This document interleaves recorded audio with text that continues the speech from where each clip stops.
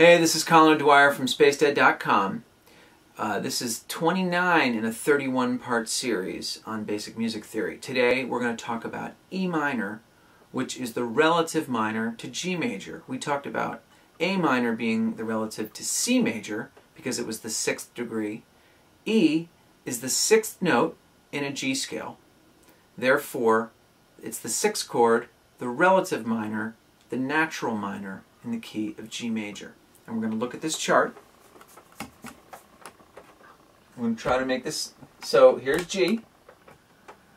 And if this, again, is 1, 2, 3, 4, 5, 6, okay, let's go backwards. 1, 7, 6.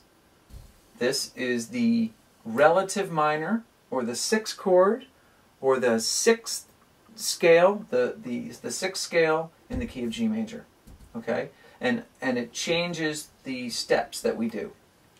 In minor again, we go whole, half, whole, whole, half, whole, whole. And I'm going to show you on guitar because the E minor scale was built for the guitar. You know, three quarters of rock and roll is written in the key of E minor. Okay, so let me just show you, and I'm going to go down, I've been going up the scale. This is a G major scale. And now I'm going to go, this is G, I'm going to go down 7, 6.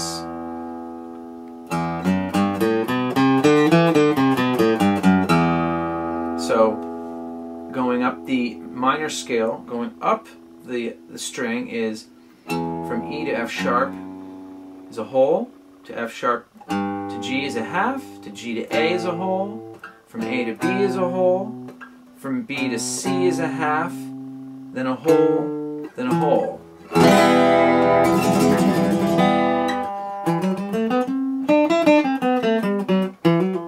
And that is E minor scale. See you next time.